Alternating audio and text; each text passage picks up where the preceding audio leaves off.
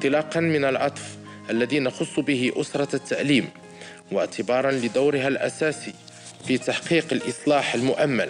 فقد قررنا إنشاء مؤسسة للأعمال الاجتماعية لأسرة التعليم التي أطلقنا عليها اسم جنابنا الشريف لتحمل اسم مؤسسة محمد السادس للأعمال الاجتماعية لأسرة التعليم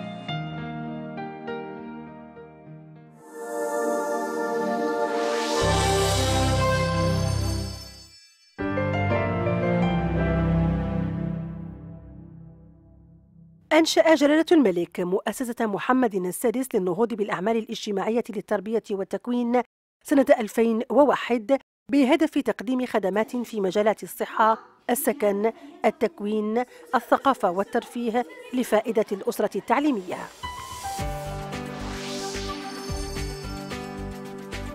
تضم المؤسسة حاليا 345 ألف منخرط بإضافة أزواجهم وأطفالهم يصل عدد المستفيدين من خدماتها حوالي المليون.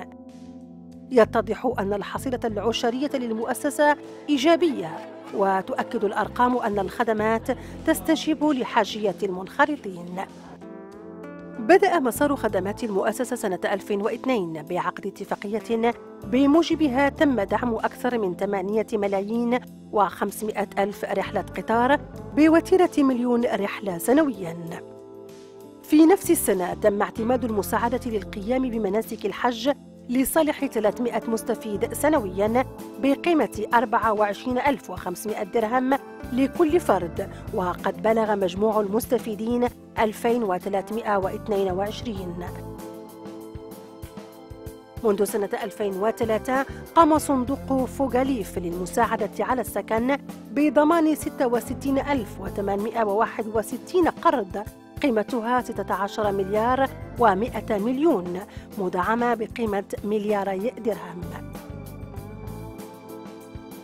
تزامنت هذه السنة مع خلق منحة الاستحقاق الدراسي لفائدة أبناء المنخرطين الحاصلين على شهادة البكالوريا بتفوق بحيث يستفيد منها 500 طالب سنوياً إذ بلغ عدد الممنوحين 2956 بتكلفة إجمالية وصلت إلى 75 مليون درهم.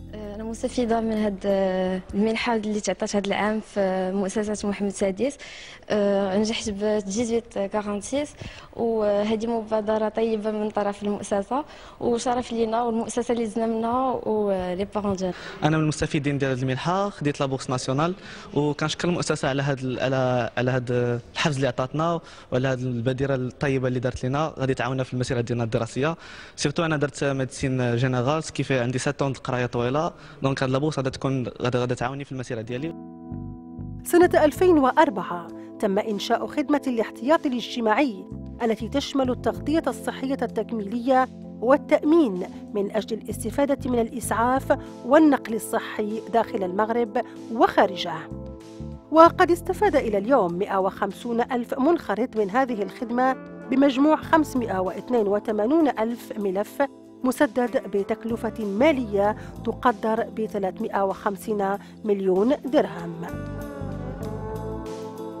وبالنسبة للإسعاف والنقل الصحي تم تسديد 16 ألف ملف بتكلفة مالية إجمالية وصلت إلى 75 مليون درهم منذ انطلاق الخدمات الثقافية والترفيهية سنة 2004 تستفيد سنوياً 900 أسرة من قضاء عطلهم بمخيمات السعيدية وأزمور. وقد استفادت 1700 أسرة من البرنامج السياحي سفر التعليم الذي شرع العمل به سنة 2006 حاليا تسهر المؤسسة في مدن عديدة بالمغرب على قيادة مشاريع سياحية بناء مراكز ثقافية وأيضا نوادي اجتماعية ورياضية.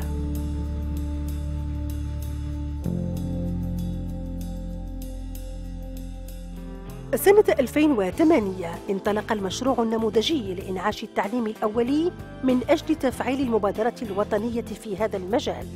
وقد مكن هذا المشروع من افتتاح 16 مؤسسة تعنى بمرحلة ما قبل التمدرس ويبلغ حاليا عدد المسجلين 2067 طفلاً.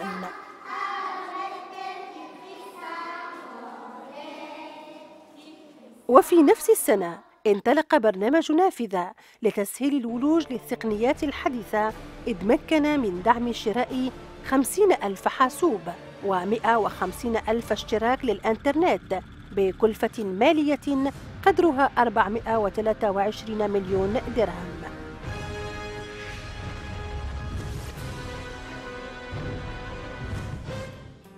ولتعزيز البرامج الثقافية بادرت المؤسسة بإنشاء رواق للعرض سنة 2009 يهدف إلى تشجيع المواهب الفنية. وفي سنة 2010 تم افتتاح مكتبة وسائطية نموذجية للمؤسسة. تضم المكتبة فضاءات متعددة وتحتوي على أزيد من 16 ألف مرجع تهم مجالات معرفية مختلفة. اليوم يرتاد المكتبة الوسائطية 2529 قارئ. وسيتم تعميم هذه التجربة على الصعيد الوطني في السنوات المقبلة.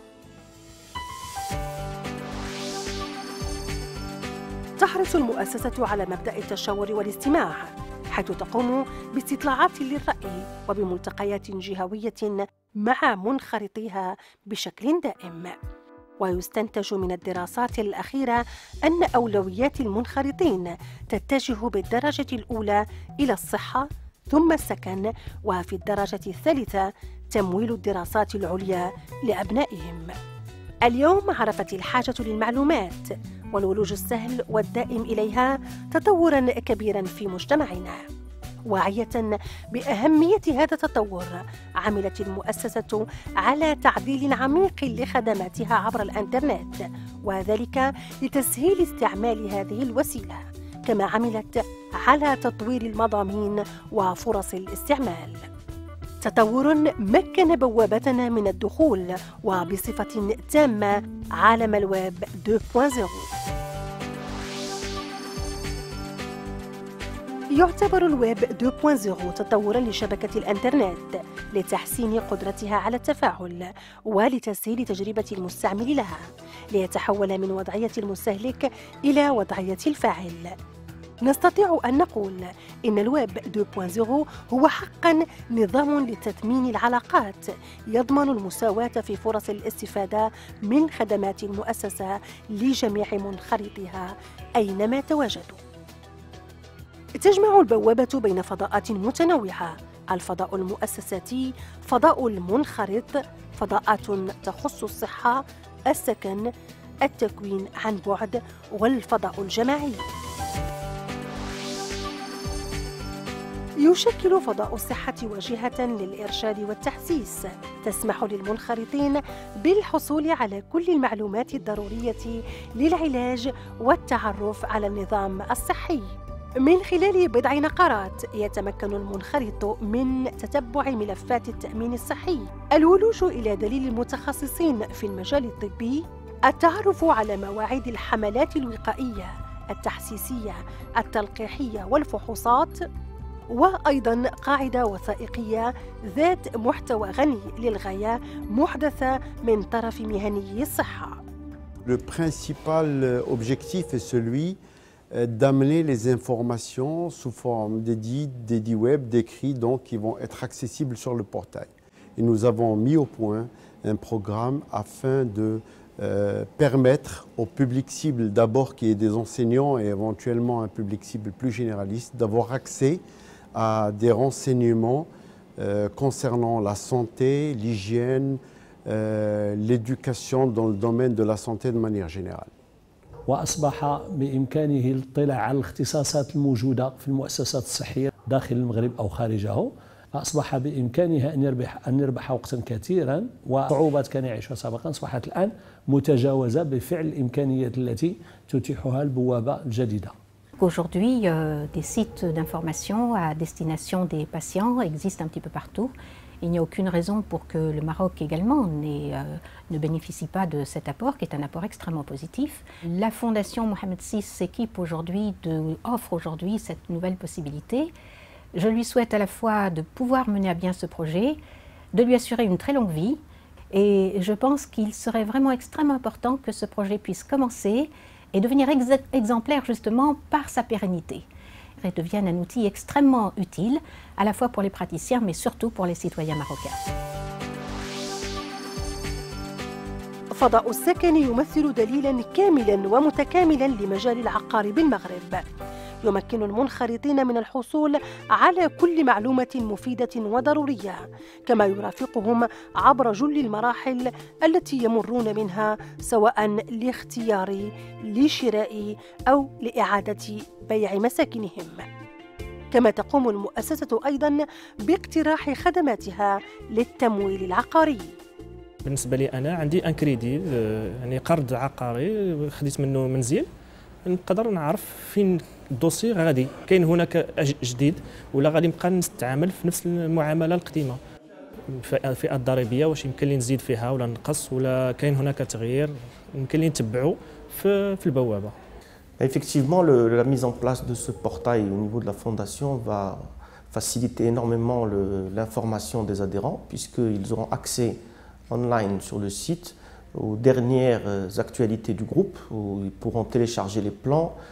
voir euh, l'ensemble du programme, euh, parcourir à travers le net de manière virtuelle. Il s'agit d'un showroom virtuel en fait dédié à la fondation à travers ce portail qui permet aux adhérents d'avoir toute l'information disponible et d'avoir un interlocuteur désigné pour chacun des programmes auquel il peut s'adresser par la suite pour un service personnalisé pour lui faciliter l'ensemble des démarches lui permettant d'accéder au logement.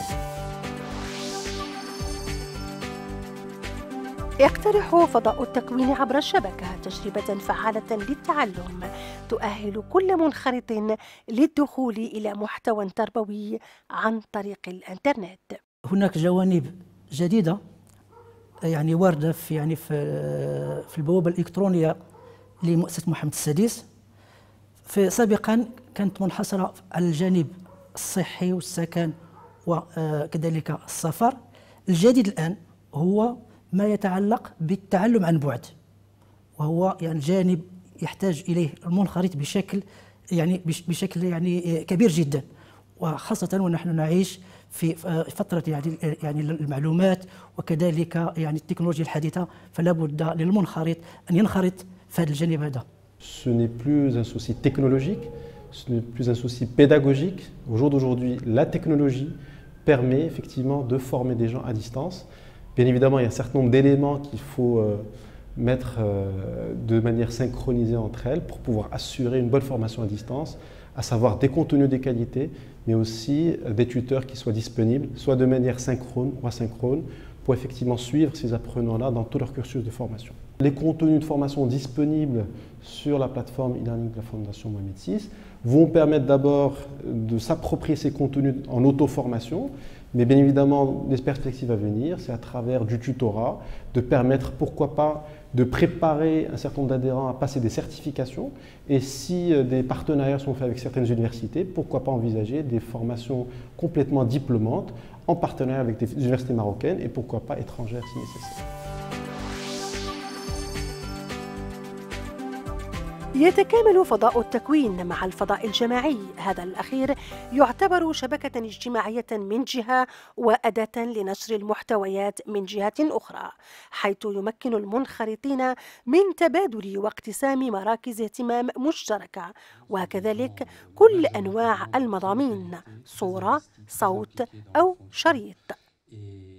ويمكن من خلال البوابة الاستطلاع على جميع المصادر الإلكترونية والمراجع الببليوغرافية وقواعد البيانات المتواجدة بالمكتبة الوسائطية. يضع الفضاء الجماعي التعاوني خبرة وموارد كل عضو في متناول الجميع. هذا من شأنه أن يخلق نوعا من التبادل المعرفي الذي يعتبر رهانا أساسيا في ميدان التعلم. يمكن للمتعلم أن يلج إلى محتويات ومنتديات مختلفة. يستطيع من خلالها التعلم بطريقة مرنة دون الامتثال لبرنامج دراسي محدد. إذ سيتشارك مستعملو الفضاء تجارب وخبرات تساهم في تطوير إمكانياتهم على المدى الطويل. تطمح المؤسسة من خلال هذه البوابة الجديدة إلى أن تصبح أحد الفاعلين الأكثر ابتكارا وتقدما فيما يخص التواصل. من جهة أخرى تعطي مؤسسة محمد السادس بعدا جديدا لمفهوم التطور الدائم بجمعها ما بين التقنيات الجديدة والمحتوى الغني وبحرصها على إشراك المنخرطين في مسارها.